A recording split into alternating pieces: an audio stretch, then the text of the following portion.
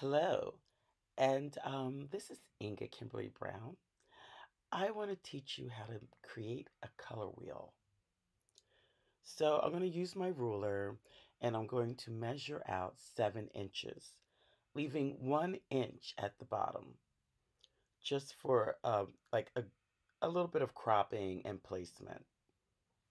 So I'm going to take my pencil and I'm just going to measure it out seven inches leaving one inch at the bottom.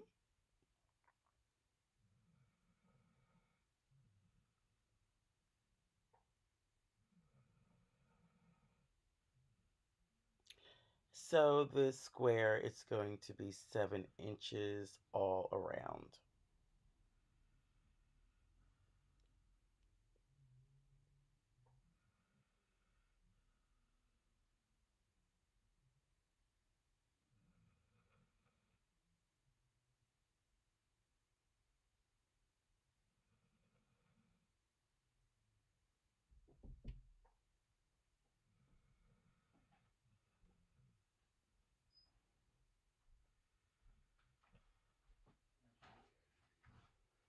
I'm just going to go in and make sure that everything is true and nice. So I have a nice little square going on. Now I'm going to make a diagonal line to my corners. I want you to notice that. Right? So um, I'm almost like I'm creating a circle in the square that the square is just wanting to bust loose, right? Now I'm actually going to draw this circle completely right through the lines of the square, bring out that circle, let it bust loose a little bit, and then bring that circle right out. And I'm just going to ignore the lines that I made in the square. Okay? This allows me to make an honest circle. I'm going to do a cross within the circle. I think I want six, so I'm going to make, um, I'm going, I need two more of these sort of slices. So I'm going to make another line just to create that extra, yeah, slice. But I do want to sort of even it out a bit. Although a lot of these lines won't make any difference once we have we start to add paint.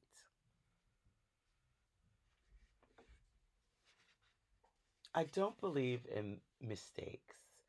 Um, I believe that it's just another opportunity to solve something, especially as artists. Um, there's the organized mind and constantly organizing and problem solving is art, is making art.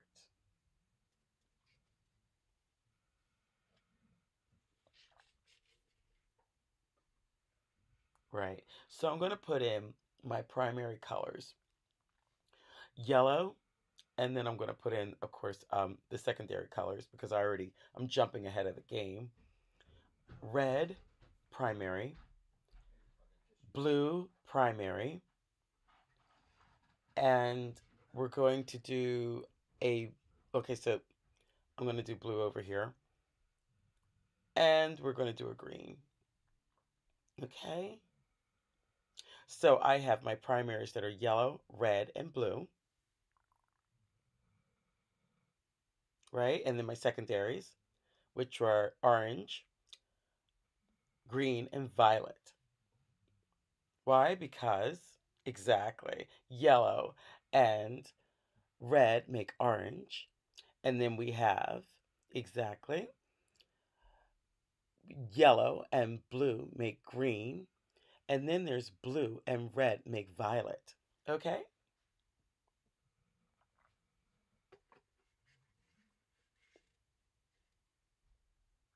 That's my palette. and I'm just putting my primary colors down. When you're using oil paint, there may be a consideration of using just a tinge of titanium white with your ultramarine blue and your cadmium reds and your cadmium yellows just to use it as a binder. But if you are using acrylic, as I, you know, suggested that you use, you'll be using only water. You will not need linseed oil or Gamsol to loosen up your oil paint or clean your brush. Just water now I'm going to put my yellow. That my primary colors go first on my color wheel. Here's my yellow. And it's oil paint, you know, a little bit, you know, it's a little uh, dirty yellow, but, you know, I'm going to make it nice and clean by using my linseed oil to loosen it up a bit. Get my nice yellow into my slice.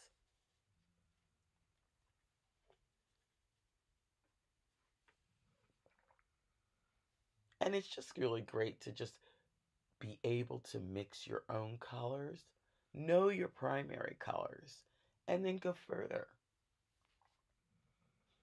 So I have my yellow out.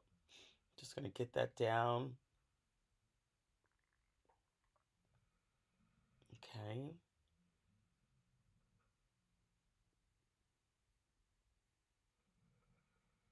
Right, right.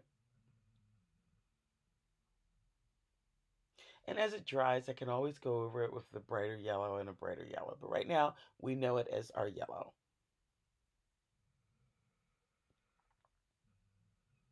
Gonna go for my next color. Gotta clean my brush just a little bit. Get in there with some red. Yeah. And I created these little spaces to like kind of do my um, combination, you know, uh, totals, I guess you could say, like what equals what. You know, this is my red right in there.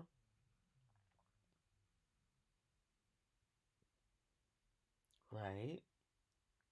Easy breezy. Just get that red in there.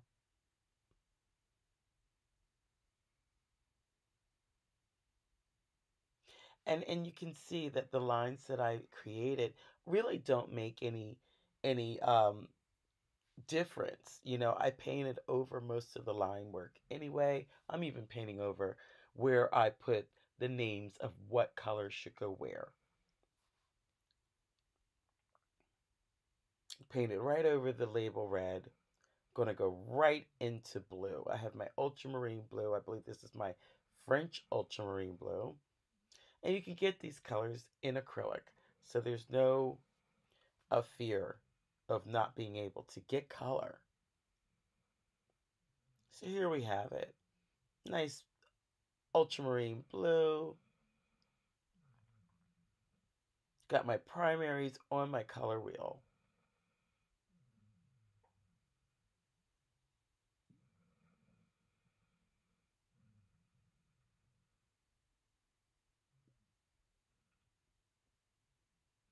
Let's have a nice soft brush to work in. I'm working on oil on paper, watercolor paper at that.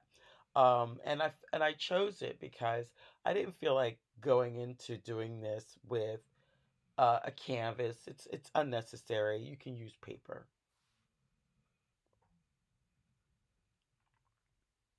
And watercolor paper is great. You know, it's going to hold. Um, you know, especially with uh, any kind of acrylic or oil paint, it's it's thick enough that it will lay right nicely on that on that. Here we go. Um, let me get in here and give you my green. So yellow and blue make green, and that's exactly what I'm putting in. I think that's a really nice sap green here, and you can see that nice. If I wanted to make it darker blue or like have more darker green inside, I would add a a little bit more blue to my mix of yellow and blue. If I wanted it a lighter color of green, I would add in more yellow. And if I wanted a pale, I would add probably a white, but we're not using white. We're using only our primary colors. Nice. I love that green. It's great green, sap green. Looks like a nice sap green. And I said again, if I wanted to make this green, darker green, all I had to do is add a little bit more blue.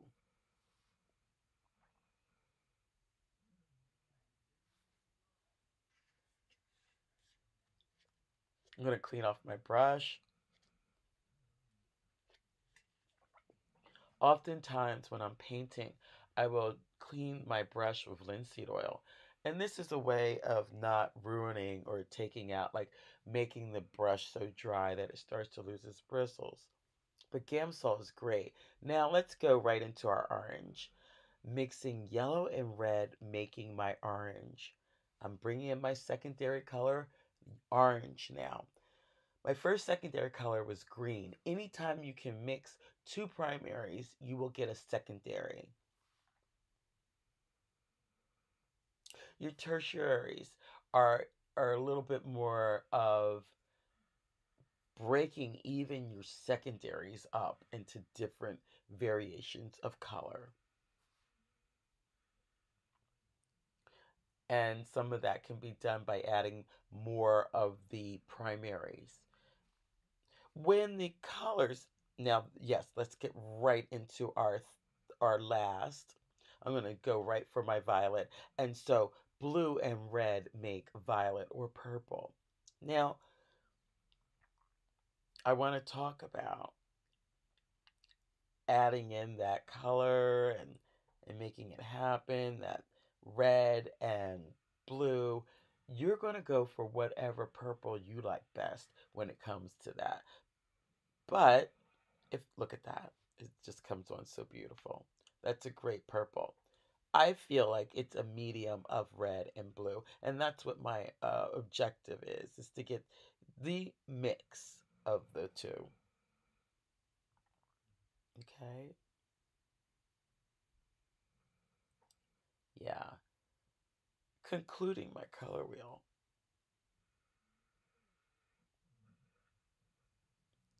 Yeah. That blue is in there. You can see the red and the blue. You know, you can just see it. Yeah. Purple. Or violet, as I would say. Color wheels are, wheels are great. They help you uh, with ease make color, learn what colors are are compatible. So the interesting thing, so, speaking about compatibility, this is wheel. This is as far as I as we look at the go. green um, opposite the orange, those are the contrasts. Those are called complementary colors.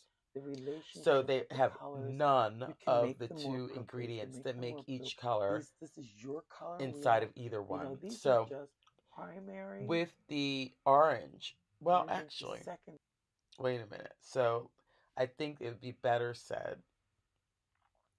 Actually, orange has yellow and red, and the green has yellow and blue. So that wouldn't be complementary. Complementary would be, for instance, not only our primaries, but let's say orange opposite blue. Perfect.